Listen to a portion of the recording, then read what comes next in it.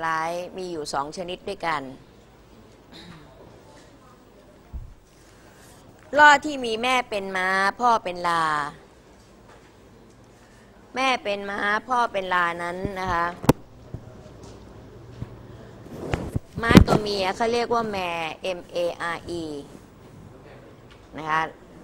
แล้วล่อที่ได้มาชื่อว่ามู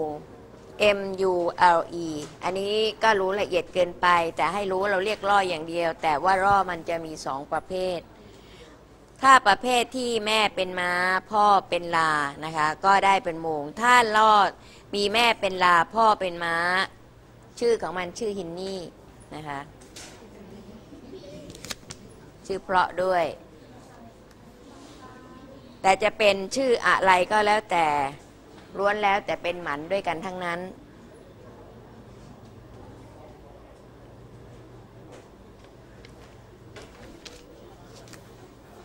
ทีนี้เขามีคำถามอยู่ในหน้า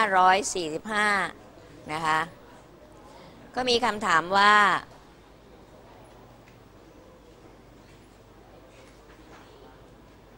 ม้ามีโครโมโซม 64 โครโมโซม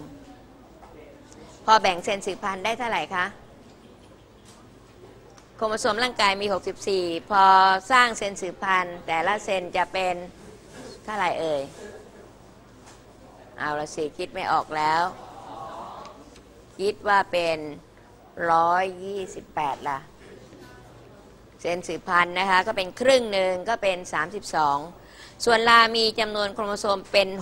62 เวลาสร้างเซลล์สืบพันธุ์จะเป็น 31 นักเรียนคิดว่าล่อควรมีจำนวนโครโมโซมเท่าใด 32 บวกกับ 31 เพราะฉะนั้นล่อควรมีโครโมโซมเท่าไหร่คะ 63 เพราะฉะนั้นตอบได้ไหมว่าเพราะเหตุใดล่อจึงเป็นหมันเราจะพูดง่ายๆมีเลขคี่มันก็เลยแบ่งไม่ได้ เพราะมันไม่ได้เรียนเลขนะคะ แบ่งครึ่งไม่ได้ แต่ความเป็นจริงแล้วในกรณีนี้เขาบอกว่าเพราะมันไม่มี homologous chromosome คือโครโมโซมที่มาเข้าคู่กัน มันก็เลยในลักษณะนี้เขาบอกว่าเพราะเป็นมันเพราะในการแบ่งเซลล์แบบไมโอซิสเพื่อสร้างเซลล์สืบพันธุ์โครโมโซมของม้ากับลาจะไม่มาเข้าคู่กันทำให้ได้เซลล์สืบพันธุ์ที่ผิดปกติเข้าคู่กันไม่ได้นะคะรู้แต่จำนวนรวมกันได้ แต่ว่าเวลาที่เซนสืบพันธุ์มันจะต้องแยกคู่เหมือนออกไป ปรากฏว่าไม่มีคู่เหมือน มันก็เลยเป็นปัญหาว่าไม่สามารถที่จะได้เซนสืบพันธ์เหมือนธรรมดาออกมาได้ เพราะฉะนั้นแล้วก็เราคิดตามง่าย ๆ ของเราก็ถูกแล้วก็คือมันเป็นจำนวนขี้จำนวนขี้แล้วแบ่งไม่ถูกหรอกนะคะแต่ถ้าเป็นจำนวนคู่แล้วเซนสืบพันธ์มันจะได้เป็นครึ่งหนึ่งแน่นอน นั่นเป็นคำถามแรกที่มีอยู่นะคะคำถามต่อมาเขาถามว่าเดี๋ยวโทษเดี๋ อ๋อโทษทีนะคะ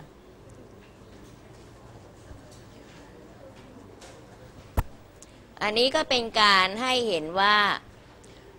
แบ่งให้เห็นว่า how to make นะคะอะโมงที่พูดถึง อันนี้ female horse นะคะ 64 โครโมโซมนะคะ อันนี้ male donkey 62 รวมแล้วได้ออกมาเป็นนะคะ female moon female moon นี้ได้ออกมาเป็นโครโมโซมเท่าไหร่คะ63 นะคะ ทีนี้พอมาเอามาผสมพันธุ์กัน จะได้ออกมาเป็นไอ้ม้าเป็นลอดตัวใหม่นั้นก็ทำไม่ได้ เพราะมันเป็นหมันนะคะ ทีนี้คำถามต่อไปก็ถามอีกว่า นอกจากล่อแล้ว มีลูกผสม ที่เกิดขึ้นจากสิ่งมีชีวิตต่างสปีชีส์กันชนิดใดอีกบ้าง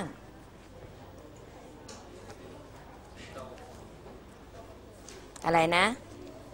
สิงโตกับเสือ เป็นอะไรคะ สิงโตกับเสือเป็นสิง เป็นไรวะเขาไม่เอาชื่อภาษาไทยเป็นเกณฑ์ เขาใช้ชื่อ ภาษาอังกฤษเป็นเกณฑ์นะคะกรณีนี้เนี่ยโทษกู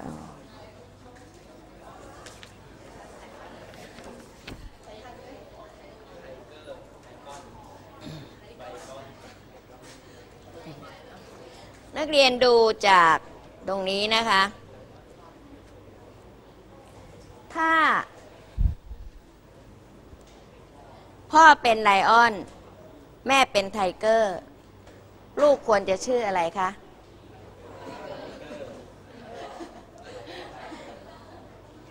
lion กับ tiger เป็น liger liger หรือ tigon เออ ปรากฏว่าลูกออกมาเป็นนะคะ ไลเกอร์ นี่เป็นการผสมระหว่างสิงโตเพศเพศผู้นะคะที่มีแผงคอเยอะ ๆ กับเสือตัวเมีย จะได้ออกมาเป็นไลกาทีนี้ต่อมานะคะ ถ้าพ่อเป็นเสือแม่เป็นสิงโต ลูกออกมาจะเป็นอะไร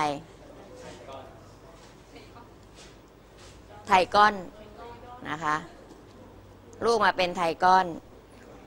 เพราะฉะนั้นก็เหมือนกับขึ้นอยู่กับชื่อพ่อเป็นหลักนะคะ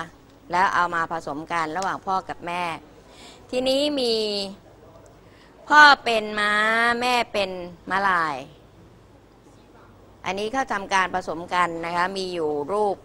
ที่เขาใช้กันอยู่นะคะ น่าจะเป็นอะไรคะ เราคิดว่าน่าจะเป็นฮีบราหรืออะไร แต่ความเป็นจริงแล้วก็คือซอส Z O R S E นะคะ ใช้ Z เหมือนกับคนตัวแม่ แต่ใช้เสียงเหมือนตัวพ่อนะคะ นั่นเป็นเรื่องของสิ่งมีชีวิตที่นอกจากล่อแล้วยังมีลูกผสมที่เกิดขึ้นจากสิ่งมีชีวิตต่างสปีชีส์กันอีกได้ไหมก็ได้นะคะ เพราะนั้นในเรื่องของกลไกการแยกกันทางการสืบพันธุ์หลังระยะไซโกตอันแรกลูกผสมตายก่อนวัยเจริญพันธุ์อันที่สองลูกผสมเป็นหมัน และอันที่สามที่เราจะพูดต่อไปนี้จากสไลด์ก็คือ ลูกผสมล้มเหลว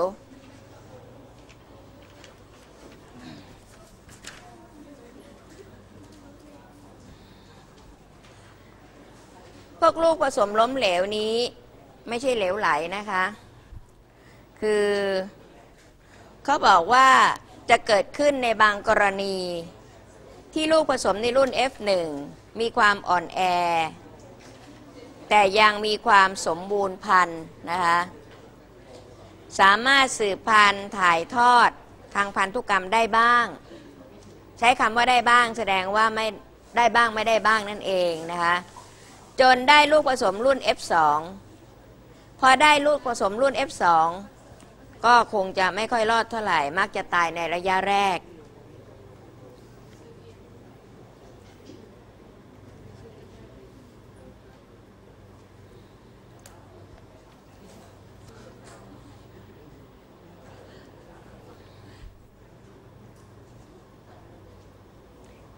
คืออันนี้เกิดเป็นลูกรุ่น F1 ได้ แล้วพอเอา F1 มาผสมกันเอง เพื่อจะได้ F2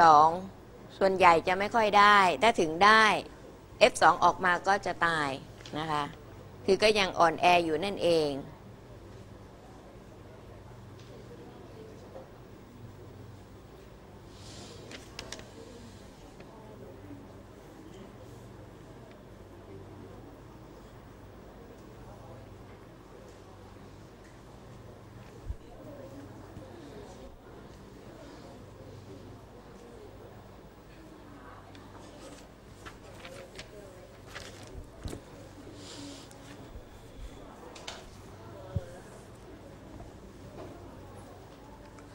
ทีนี้ในกรณีนี้เขาพูดถึงว่า ลูกผสมรุ่น F1 ซึ่งมักจะตายในระยะแรก ของการเจริญ ขณะที่เจริญเติบโตหรือไม่ก็เป็นในกรณีนี้ก็เป็นหมันโตได้นะคะแต่ก็เป็นหมันในช่วงที่สองนี้ จนไม่สามารถสืบพันธุ์ต่อไปได้ คล้ายๆกับ ลูกผสมเป็นหมันในตอนแรก แต่นั่นออกมาเป็นหมันเลย แต่ลูกผสมล้มเหลวนี้ พอได้ลูกรุ่น F1 ส่วนใหญ่จะอ่อนแอไม่คืออ่อนแอถึงแม้มีความสมบูรณ์พันธุ์ถ้าโตเต็มที่แล้วอาจจะสืบพันธุ์ถ่ายทอดพันธุกรรมได้บ้าง ได้รุ่น F2 บ้าง แต่รุ่น F2 ที่ได้ออกมานั้น บางทีก็ตายก่อน หรือถ้าไม่ตายก็เป็นหมันนะคะอันนี้ก็พูดง่ายๆว่า โอกาสจะมีมากกว่าพวกที่สองคือพวกลูกผสมเป็นหมันนะคะตัวอย่างที่เขาพูดถึงอย่างเช่น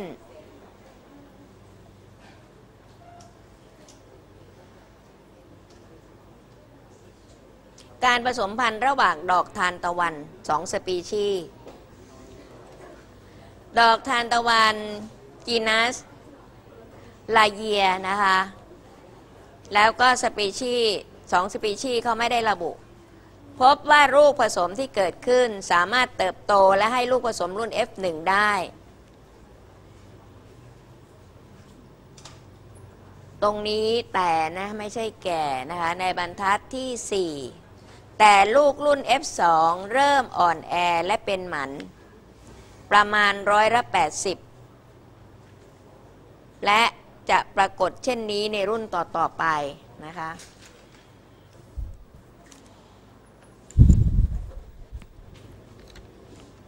อย่าลืมนะคะว่า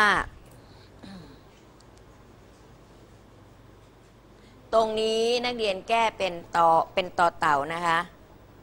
ลูกผสมรุ่น F1 นี้ได้แน่ แต่ลูกรุ่น F2 จากกอนี้เป็นต่อ เริ่มอ่อนแอและเป็นหมันประมาณร้อยละ 80 และจะปรากฏเช่นนี้รุ่นตอนนี้ต่อ ๆ ไปนะคะ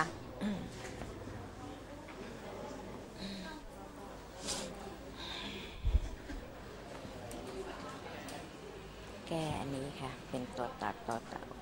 ได้แต่ค่ะ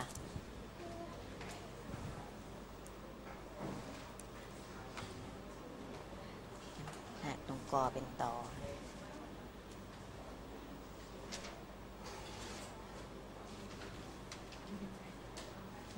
ค่ะ แค่นั้นนะคะ อันนี้แก้แล้ว อันนี้ทำไมแก้แล้วไม่ได้ ขอบคุณมากค่ะ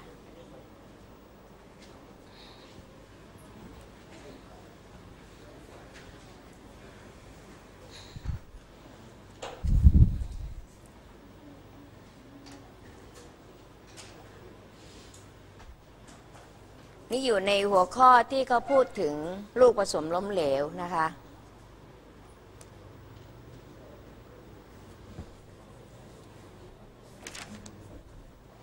ทีนี้เราก็มาดูต่อไปในหัวข้อที่เขาพูดถึงนะคะ หัวข้อแรกที่เราว่ากันด้วยความหมายของสปีชีส์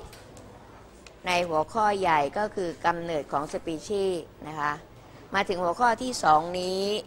ก็คือ